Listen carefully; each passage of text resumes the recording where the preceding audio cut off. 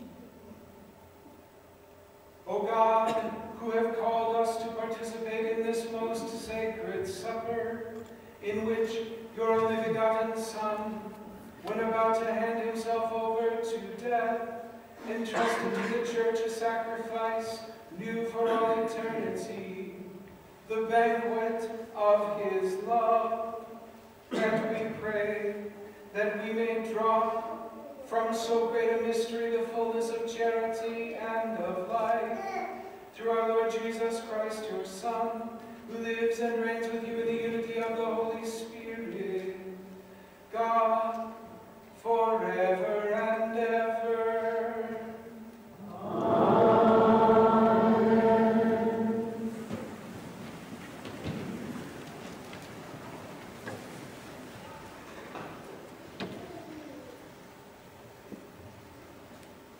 A reading from the book of Exodus. The Lord said to Moses and Aaron in the land of Egypt, This month shall stand at the head of your calendar. You shall reckon it the first month of the year. Tell the whole community of Israel, on the tenth of this month, every one of your families must procure for itself a lamb, one apiece for each household. If a family is too small for a whole lamb, it shall join the nearest household in procuring one, and shall share in the lamb in proportion to the number of persons who partake of it. The lamb must be a year old, male, and without blemish. You may take it from either the sheep or the goats. You shall keep it until the fourteenth day of this month, and there, with the whole assembly of Israel present, it shall be slaughtered during the evening twilight. They shall take some of its blood and apply it to the two doorposts and the lintel of every house in which they partake of the lamb. That same night they shall eat it, its roasted flesh, with unleavened bread and bitter herbs. This is how you are to eat it, with your loins girt, sandals on your feet, and your staff in hand. Shall eat like those who are in flight. It is the Passover of the Lord. For on this same night I will go through Egypt, striking down every firstborn of the land, both man and beast, and executing judgment on all of the gods of Egypt, I, the Lord. But the blood will mark the houses where you are. Seeing the blood, I will pass over you. Thus, when I strike the land of Egypt, no destructive blow will come upon you. This day shall be a memorial feast for you, which all your generations shall celebrate with pilgrimage to the Lord as a perpetual institution. The word of the Lord. Our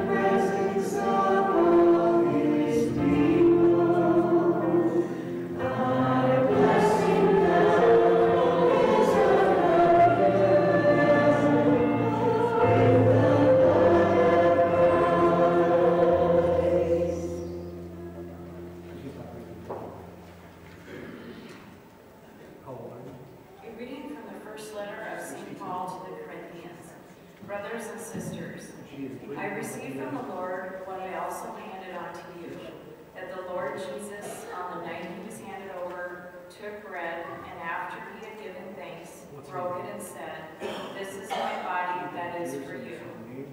Do this in remembrance of me. In the same way, also the cup, after supper, saying, This cup is the new covenant in my blood. Do this as often as you drink it in remembrance of me. For as often as you eat this bread and drink the cup, you proclaim the death of the Lord until he comes. The word of the Lord. Amen.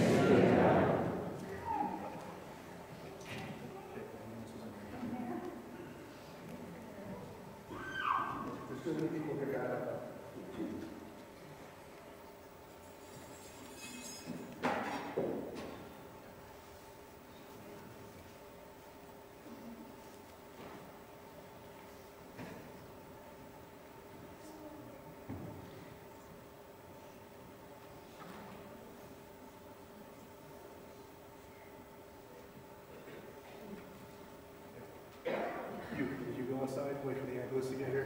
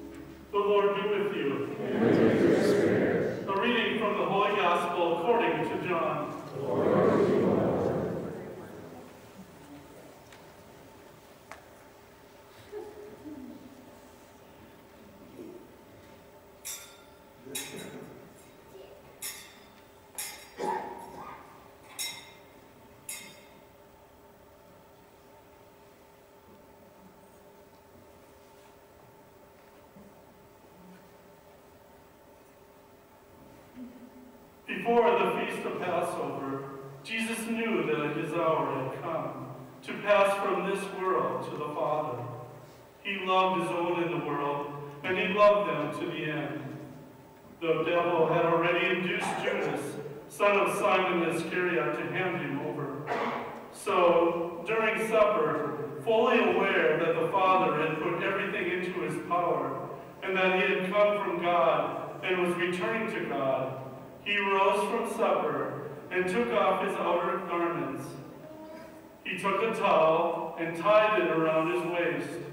Then he poured water into a basin and began to wash the disciples' feet and dry them with the towel around his waist. He came to Simon Peter, who said to him, Master, are you going to wash my feet? Jesus answered and said to him, What I am doing you do not understand now, but you will understand later. Peter said to him, You will never wash my feet. Jesus answered him, Unless I wash you, you will have no inheritance with me. Simon Peter said to him, Master, then not only my feet, but my hands and head as well. Jesus said to him, Whoever has bathed has no need except to have his feet washed, for he is clean all over. So you are clean, but not all. For he knew who would betray him. For this reason he said, Not all of you are clean. So when he had washed their feet and put his garments back on and reclined at table again, he said to them, Do you realize what I have done for you? You call me teacher and master, and rightly so, for indeed I am. If I, therefore, the master and teacher, have washed your feet, you ought to wash one another's feet. I have given you a model to follow, so that as I have done for you, you should also do. The Gospel of the Lord.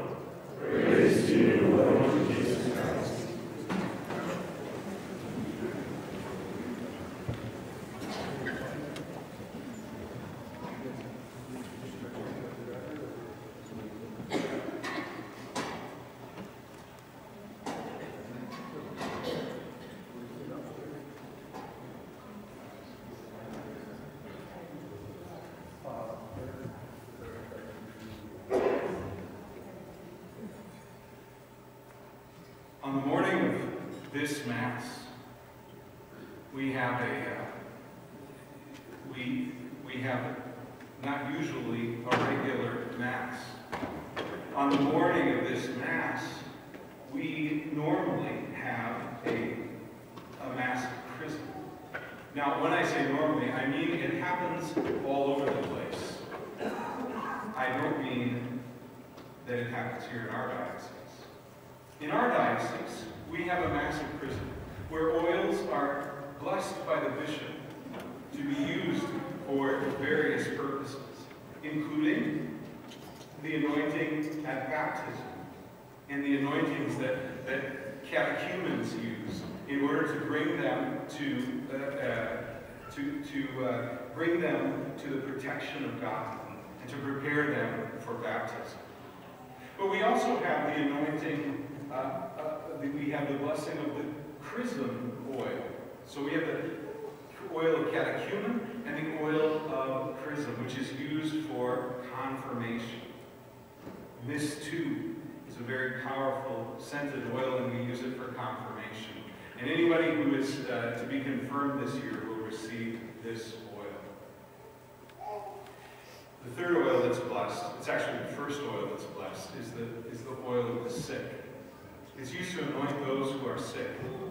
And so we use it a- and we ask uh, God's healing. And we ask God to prepare others, uh, to prepare people for, uh, for the trip, the journey towards heaven, if that's where they're, they are on their journey. I say this because one of the things that's possible at this Mass is that we would receive those oils, that we would place them in our ambry, which we have already done.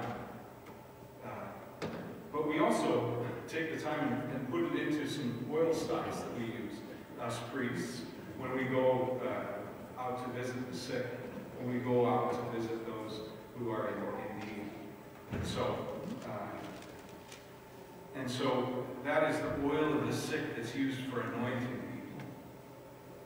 I say that uh, because um, we may be a bit distracted, and we may need to recognize the, the need to pray right now. And in a little while, we'll pray the prayer that Jesus taught us.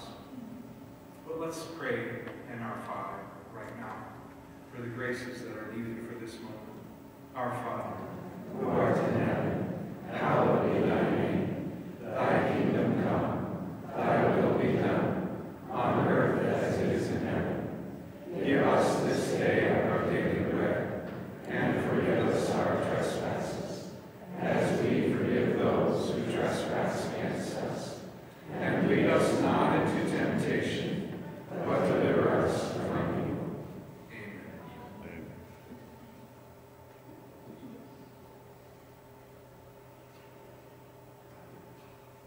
I just refilled Father Johnson's oil stock just before this Mass. That is the that he might use even now for anointing. And so, uh, that's why you don't see him right here at the moment. In one sense, I'm stalling a little bit. But here's the thing. Uh, as we let as we let others take care of the things that they know well, as we let others take care of important things, we also know that it's important that we take care.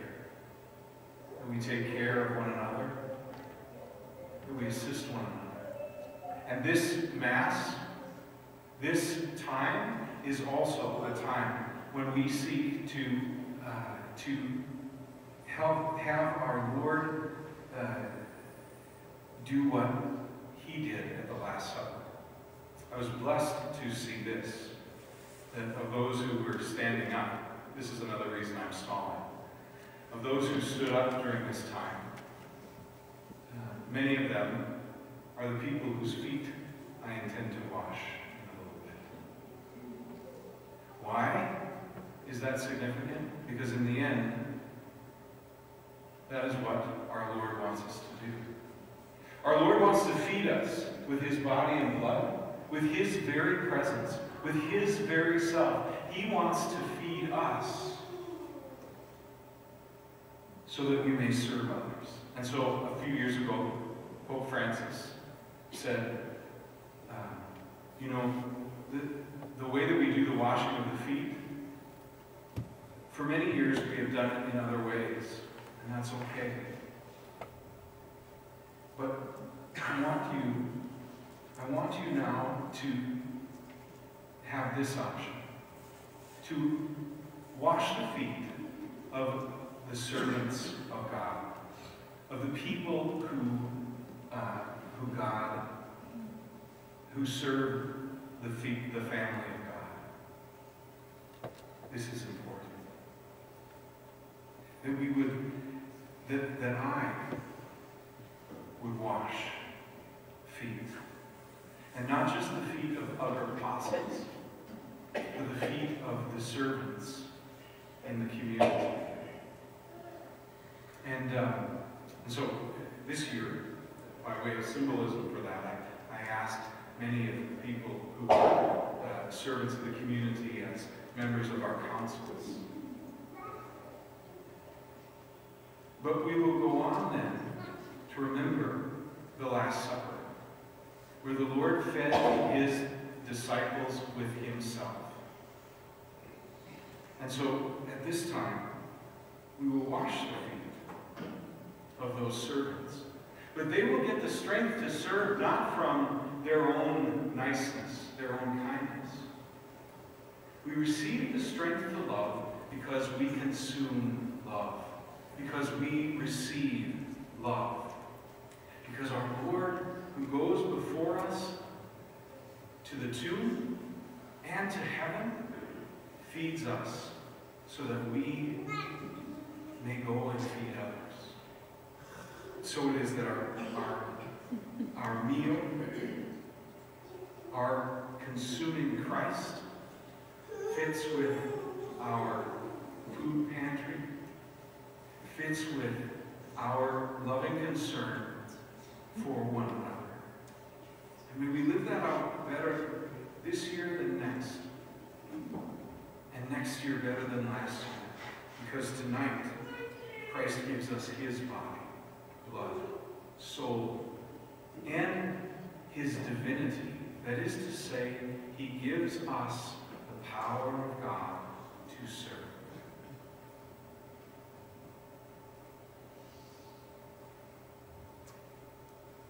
And so now I invite those who I have asked to, uh, to have their feet washed to come forward and to take a chair and place it uh, facing towards, uh, towards the people. So you'll have to turn the chair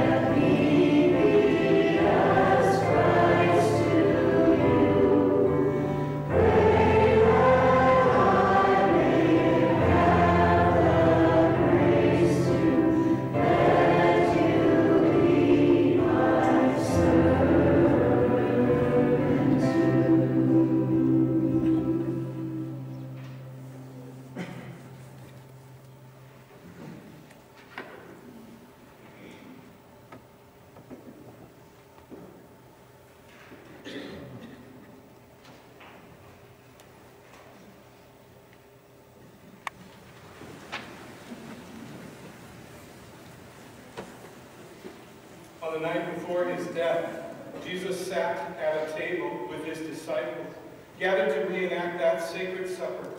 Let us join Christ and pray to the Father for all our needs. For the church on earth, that we may be guided to a greater understanding of the perfect love and service of Christ. We pray to the Lord. Lord, hear our prayer. For those in positions of power influence in the world, that they may understand something of the spirit of Christ's sacrifice. We pray to the Lord. Lord, hear our prayer. For those confronted by temptation, that they may be strengthened by Christ's example of loyalty to his Father. We pray to the Lord. Lord, hear our prayer. For all of us in this community, that more and more we may reflect in our lives the Eucharistic love of Christ. We pray to the Lord. Lord, hear our prayer. Father, we come before you and present our needs to you, humbled by the Eucharistic love and generosity of your Son, our eternal priest, who lives and reigns forever and ever. Amen. We invite the children to come forward to make their offering. We together. Amen.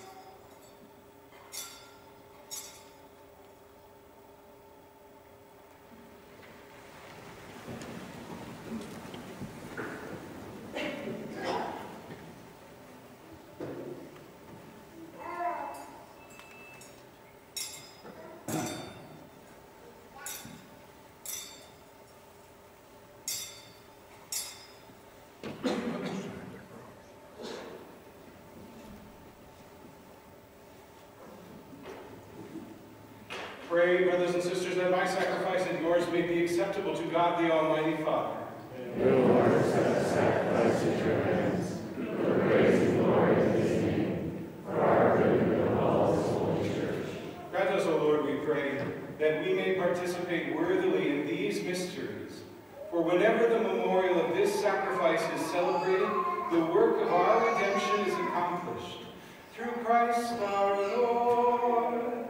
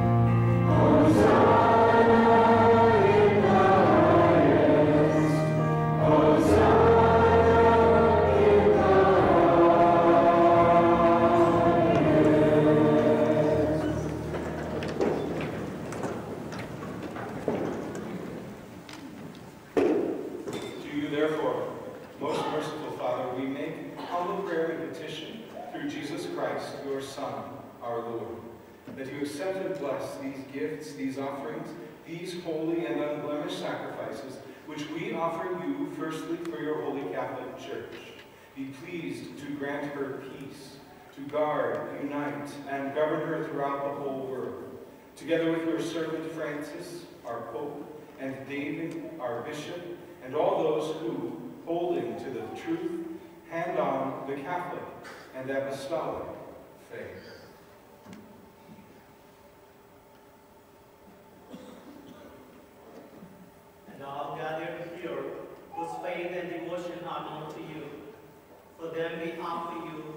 This sacrifice of praise, or their offering for themselves, and all who are dear to them, for the redemption of their souls, in hope of health and well-being, and paying their homage to you, the eternal God, living and true.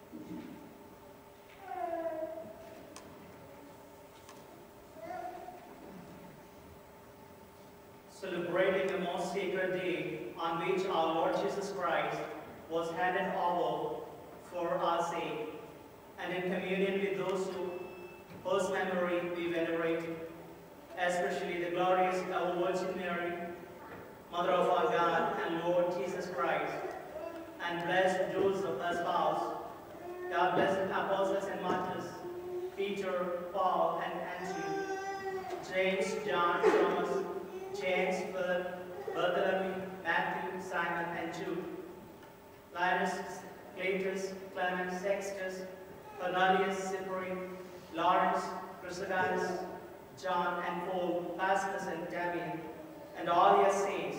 We ask that through their merits and prayers, and all things we may be defended by a protecting help through Christ, our Lord. Therefore, Lord, we pray, graciously accept this oblation of our service, that of your whole family, which we make as we observe the day on which our Lord Jesus Christ handed on the mysteries of his body and blood for his disciples to celebrate. Order our days in your peace, and command that we be delivered from eternal damnation and counted among the flock of those you have chosen. Be pleased, O God, we pray, to bless, acknowledge, and approve this offering in every respect. Make it spiritual and acceptable, so that it may become for us the body and blood of your most beloved Son, our Lord Jesus Christ. On the day before he was to suffer, for our salvation and the salvation of all, that is today, he took bread in his holy and venerable hands, and with eyes raised up to heaven, to you, O God, his almighty Father, giving you thanks, he said the blessing, broke the bread, and gave it to his disciples, saying, Take this, all of you, and eat of it. For this is my body, which will be given up for you.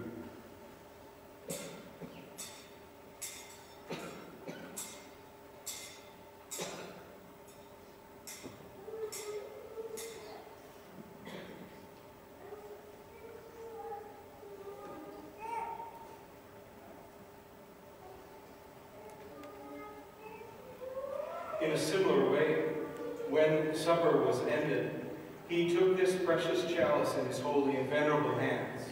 And once more, giving you thanks, he said the blessing and gave to his disciples, saying, Take this, all of you, and drink from it.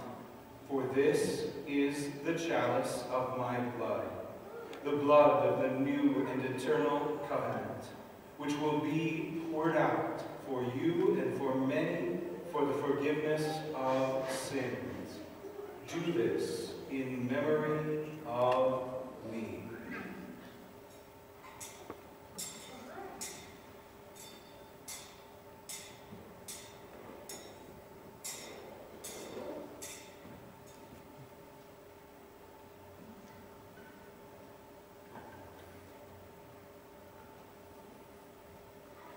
The mystery of faith.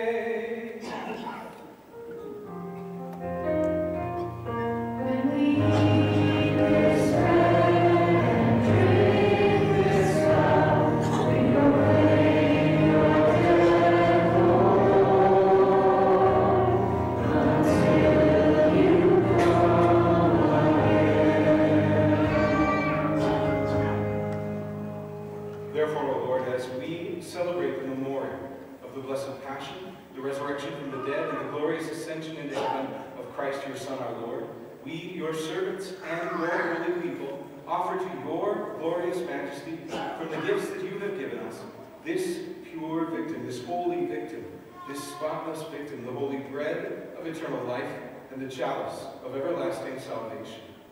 Be pleased to look upon these offerings with a serene and kindly countenance, and to accept them as once you were pleased to accept the gifts of your servant Abel the just, the sacrifice of Abraham our father in faith, and the offering of your high priest Melchizedek, a holy sacrifice, a spotless victim. In humble prayer we ask you, Almighty God, command that these gifts be borne by the hands of your holy angel to your altar on high in the sight of your divine majesty, so that all of us who through this participation at the altar receive the most holy body and blood of your Son may be filled with every grace and heavenly blessing.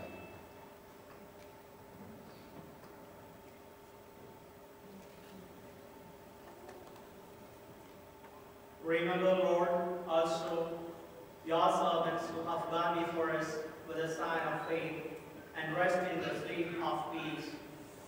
Grant them, O Lord, we pray, and all who sleep in Christ, a place of refreshment, light, and peace. To you also, your servants, who those in us, hope in your abundant mercies, graciously grant some share and fellowship with your holy apostles and martyrs, the John the Baptist, Stephen, Matthias, Barnabas, Ignatius, Alexander, Marcellinus, Peter, Felicity, Perpetua, Agatha, Lucy, Agnes, Cecilia, Anastasia, and all your saints. Admit us, we beseech you, into your company, not weighing our merits, but granting us your pardon through Christ. Through whom you continue to make all these good things, O Lord. You sanctify them, fill them with life, bless them, and bestow them upon us.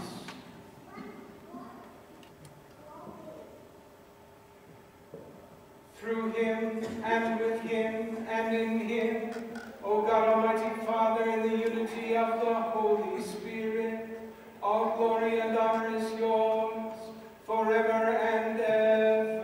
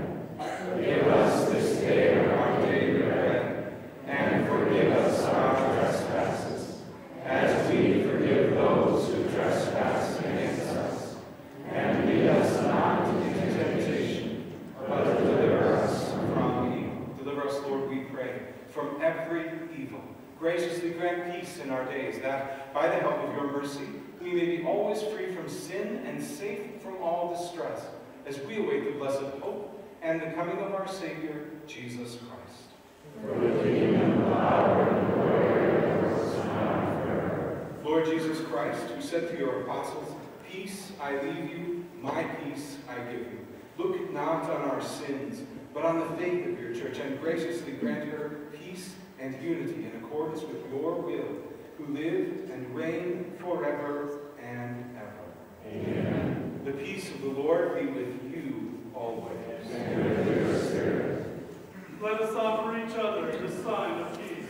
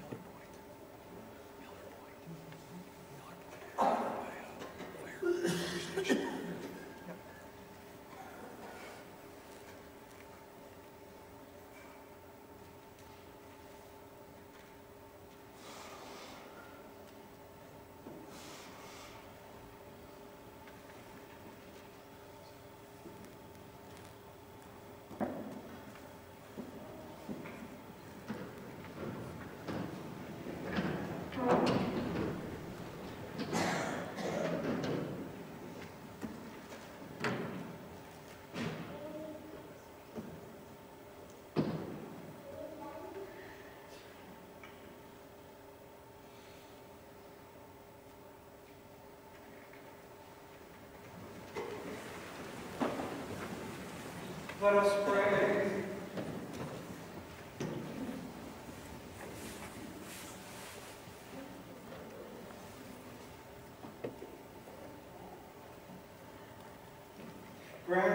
Almighty God, that just as we are renewed by the supper of your Son in this present age,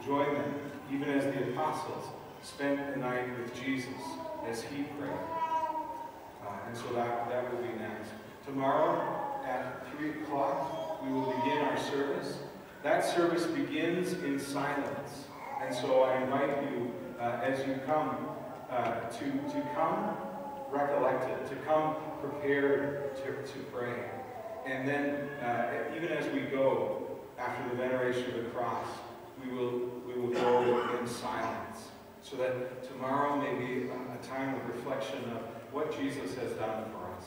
Don't forget to fast and pray, even if you can't come at the 3 o'clock hour.